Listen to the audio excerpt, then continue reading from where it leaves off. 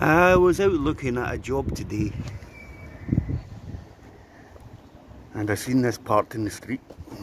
It might be quite weird for the owner. If he pulls up and sees my video in his car. But these things are just it looks like a spaceship doesn't it? It looks like something out of Flash Gordon. An absolute thing of beauty and grace. The couple of things that strike me is how low to the ground it is.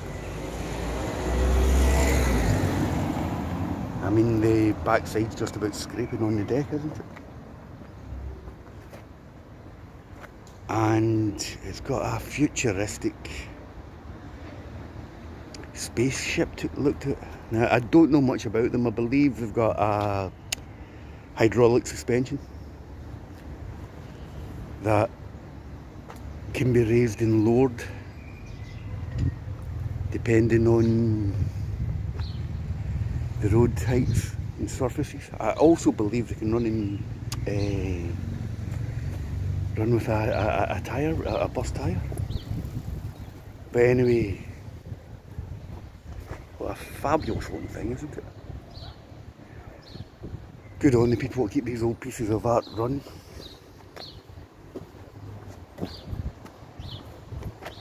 I mean, it's not E-Type Jaguar, good looking, it's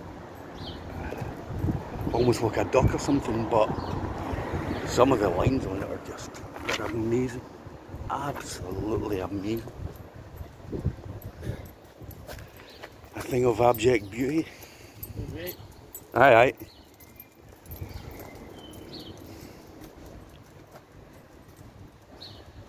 I'll see if I can find some links or some of the history stuff about them and put it in the, the description. But is a Citroen DS? Citroen Diane?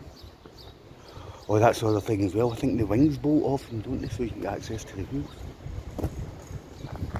Yeah, you're not changing a tyre in that either.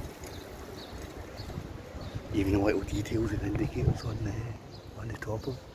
It's a shame the owner's not about. Because I've spoke to him and found out some of the history of it. But anyway, where are you getting content like this, eh? See?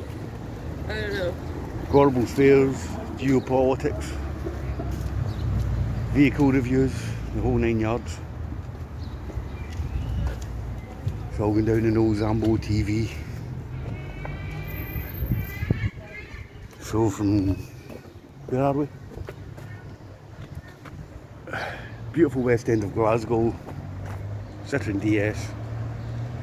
God bless you, merry gentlemen. Thank you for watching. Shame we couldn't find the owner to get a chat, but that's just how I rock. Thanks for watching. Bye bye.